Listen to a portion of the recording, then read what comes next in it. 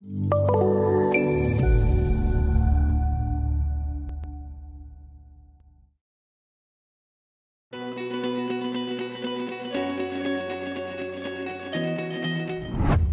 it's Sam Hendrick again, Bentley Systems, back again to continue our series on MicroStation Connect Edition, the basics. In this video, what we're gonna talk about is basically four tools. We're gonna talk about the copy element, the rotate element, the copy parallel, for AutoCAD users, it's called offset, and your plus one is gonna be copy parallel just a portion of an element. It's really cool. And then we'll finish off with the stretch element tool. So let's go ahead, get started. In this video, we're going to be talking about several tools in MicroStation, the copy tool, rotate, copy parallel, and stretch. So let's go ahead and get started. Let's open the first file, copy tool. Now the first thing is we're going to look and see what workflow I'm set to. Right now, I have my workflow set to drawing, and I have the tab set to home. Under the home, you're going to see a group called manipulate, and that's where we're going to be working today.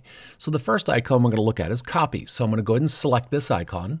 And my task here is the drawing you see before you is basically a cross section. And on the cross section, we have some rebar. And this red dot represents a plan view of the rebar. My job is to copy that to the right and create two copies centered about this rebar right here. So on the tool settings window, I have an option to indicate how many copies I want to make. In this case, I want to make two copies, so I'm going to change that number to two. I'm going to select the element that I want to copy, which is the red dot. I'm going to move my cursor to the right. Now, the distance I want to move it to the right and the direction are indicated by my cursor. And what I want to do is go halfway relative to this rebar right here. To do this, I'm going to use AccuDraw and I'm going to hit the Enter key, which is Smart Lock. This locks me on the axis. You can see as I move my cursor, I'm constrained on that axis. Now I'm just going to simply move to the midpoint of this rebar, data, and then a reset. And now you can see I've got my three copies, two additional. Now in the next example, I'm going to take two of the three dots and I'm going to copy them straight up. In this case, I want to make four copies. So I'm going to change on my tool settings window the value from two to four. This time I'm going to select just two of these dots. I'm going to hold the left button down, drag across. Right to left is crossing. Left to right is inside, so I'm going to be doing crossing. So I'm going to cross over. Now to select the second one, I'll hold down the control key on my keyboard, drag across, selecting the second one. Now that I have them both selected, I'm going to pick a point to copy from, and that'll be the center of the circle, data. Move my cursor up. Again, AccuDraw is docked to the bottom, waiting for me to input a value. I'm going to type in 1, which is going to be 1 foot, and I want to make sure I'm straight up. Then I'm going to Data, left click, and then right click, Reset, and there I've got my copy straight up there. So that's the copy tool, pretty basic, making multiple copies. Let's go to our next file. I'm going to go to Rotate Tool. In this file, we're going to talk about the rotate tool. Going back up to our manipulate group, here's our rotate right there. On the tool settings window, we've got three different methods. We're going to be looking at active angle, and we're going to be looking at three points. So I'm going to choose active angle, and right now, the setting is set to 32 degrees. I'm going to select this first element right here. I'm going to do a data, and then you're going to see as I move my cursor, it's looking for a pivot point. So I'm going to move my cursor to the end of the line. I'm going to do a data. In this case, I didn't check copies, so it actually rotated or moved the original element. So I'm going to do an undo, Control Z. The next method we're going to look at is by three points. And in this case, we do want to check copies, and we're going to set the copy value to 3.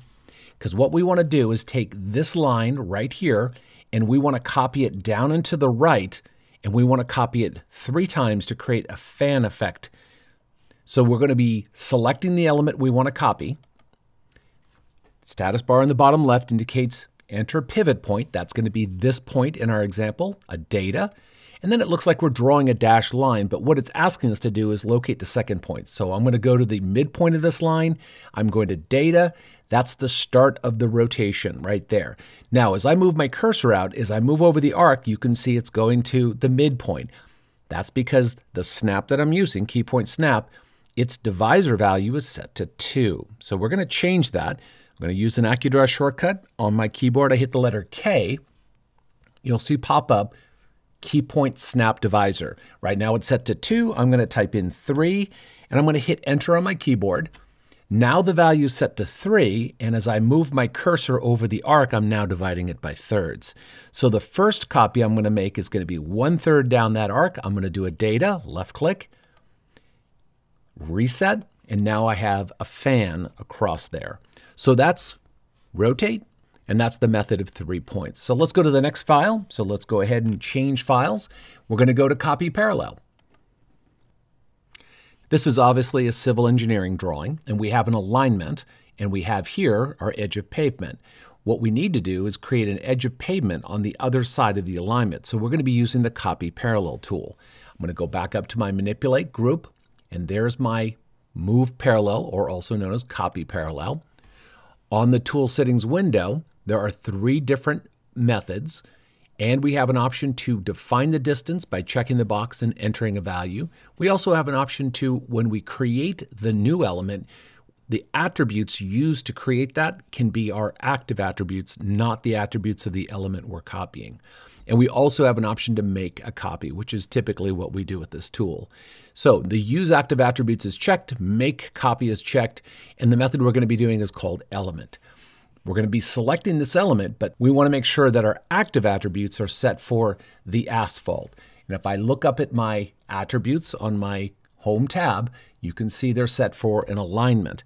Well, I'm going to match the attributes of this asphalt, and I'm going to do that with the technique that we've talked about in previous videos in this series.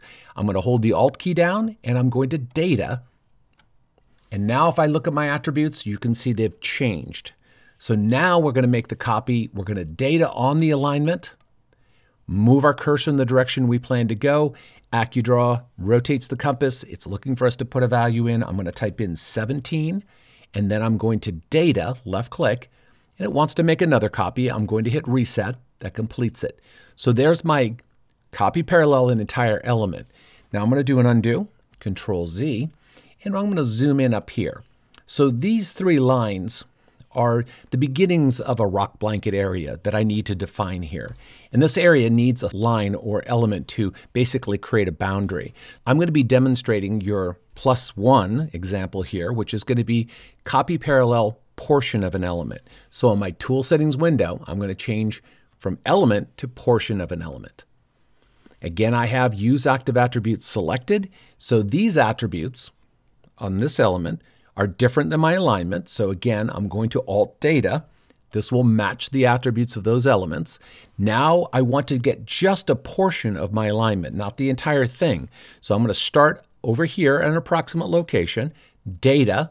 You can see a thick black line appear. This is indicating how much of the element I'm going to copy, the portion of the element. So I'm going to move it down here, clearly past that vertical line above. I'm going to Data. Now it wants to know how far off I want the copy to be. I'm going to pick this point right here, data. And again, it wants to make another one. I'm going to hit reset. Now I've got this area approximately defined. I'm going to show you a nice little shortcut tool that's going to create a shape based upon this area. This is up on our groups group. I'm going to click create region, having it set to flood, and I'm not going to keep the original elements. I'm going to get rid of them and create a brand new element. I'm going to move my cursor here, data, in the area to flood. You can see a highlight. I'm going to data to accept. And now I've created, basically trimmed everything up, but now I have a closed element. So if I go to my element selection tool and I hover over it, you can see it's a complex shape. It's made up of three lines and a arc. So that is our copy parallel tool. And the last one we'll look at is going to be stretch. So let's go ahead and leave this file and let's go to our Next file. In this example, we have a side view or elevation of a pipe drawing, and our job is to take this section of pipe here and move it or stretch it to the right a distance of one foot. Again, we're going to go up to our manipulate group, and here's the icon for stretch. I'm going to select that. Now it wants me to define an area which will determine which vertices of the element are going to be stretched. It's a rectangle, so I'm going to move my cursor up in this location, left click. I'm going to move my cursor down, left click. you want to make sure that the ends of your lines are inside the fence boundary here. If they are not inside the fence boundary, then they won't be stretched. Now I need to pick a point to stretch from, and I'm going to pick the midpoint of our pipe here, left click, data, move my cursor to the right, that's the direction, and I'm going to do it a distance of one foot. So I'm going to type in one, which is a foot. I'm going to data, and then reset, and there I've stretched it over.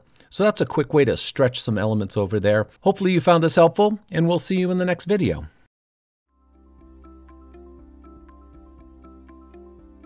If you found this video helpful, please give it a like. If you want to see more such series, consider subscribing to our channel. Thank you, and see you next time.